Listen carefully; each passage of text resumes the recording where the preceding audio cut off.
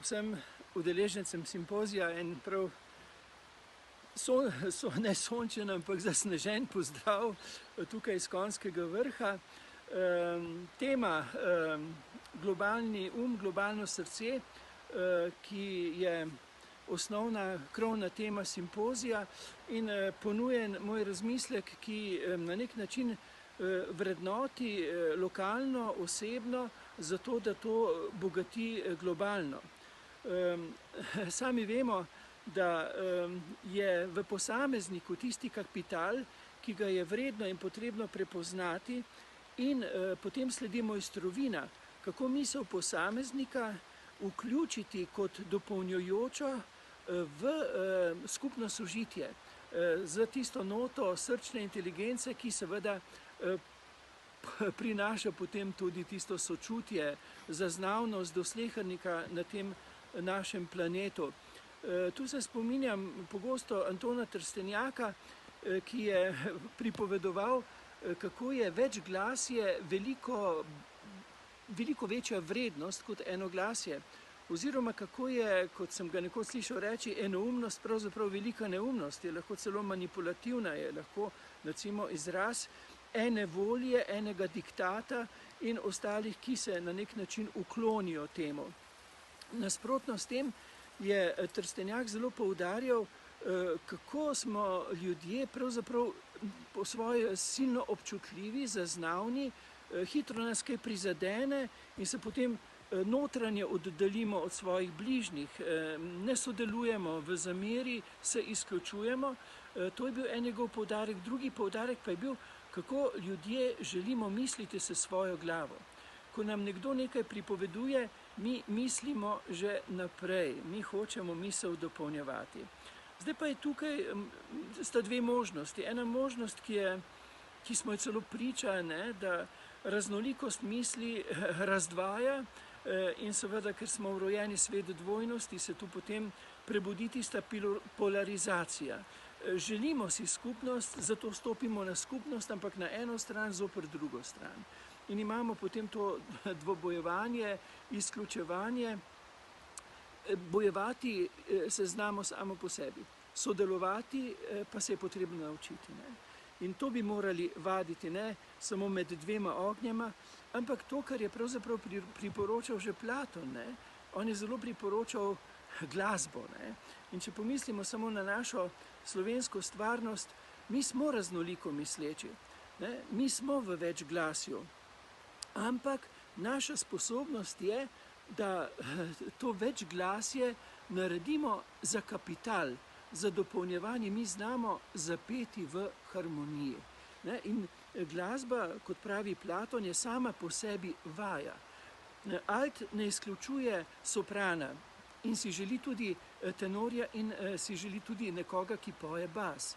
In potem je tukaj izziv, provokacija, ne da zapustim lastni jaz, lastno misel, ampak na nek način dovolim, da se ta moja misel obogati z drugostjo in drugačnostjo v medsebojni spoštljivosti, pravičnosti in odgovornosti na način, da najdemo, da se uskladimo v harmonijo ali pa če bi rekli v, glede družbene situacije, da se uskladimo za tiste cilje, skupne cilje, ki so vrednota za slehrnika, za posameznika, kakor tudi za, za skupnost.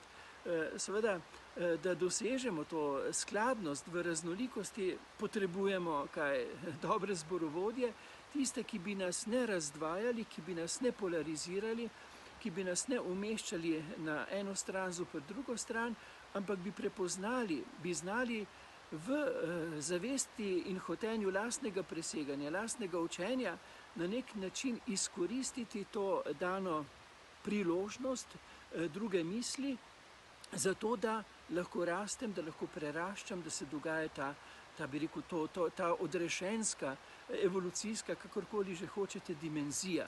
Mi preprosto ljudje ne moremo, ne smemo obstati, ker to pomeni zadušitev eh, posameznika, skupnosti in tudi eh, civilizacije. Eh, poiskati dobre zborovodje, to so modreci, ne? modreci in seveda dejansko že v sam proces izobraževanja uvesti vaje dopolnjevanja in sodelovanja. to je ples, to je uspenjanje v navezi, to je že omenjena glasba, recimo orkester, če pomislimo, ne, so tolkala in se zdi, da nikakor ne grejo skupaj z recimo godali, ampak vemo, da se da vse uskladiti, da je, da je, da je pravzaprav eno in drugo je, da smo, da smo, če govorim zdaj v naši človeški eh, situaciji, en za drugega ena dobra priložnost za rast in preraščanje, seveda pa ne gre brez eh, vaje na nivoju doživljajske pedagogike. Tukaj nam sama, bi rekel, eh, teoretična eh, pedagogika ne, in teoretično izobraževanje ne pomaga, tu je potrebna doživljajska pedagogika, tu je potrebno na nek način tudi proces učenja, izobraževanja, na nek način osvoboditi, ne zgolj za razum, ampak tudi za srce, za socialno inteligenco, čustveno inteligenco, praktično inteligenco, inteligencija je cel kup. Predvsem pa seveda bo treba zelo, zelo dobro premisliti, kdo se lahko postavi pred zbor raznoliko mislečih, po svoje sino občutljivih in na nek način deluje kot tisti, ki je poklican za povezovanje, ne pa za razdruževanje.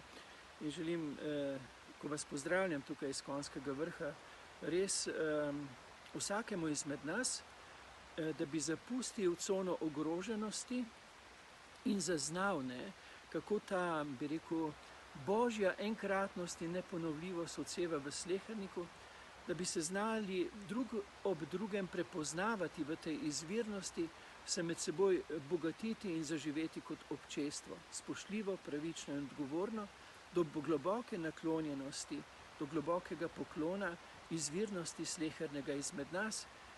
Še enkrat, enoumnost je neumnost.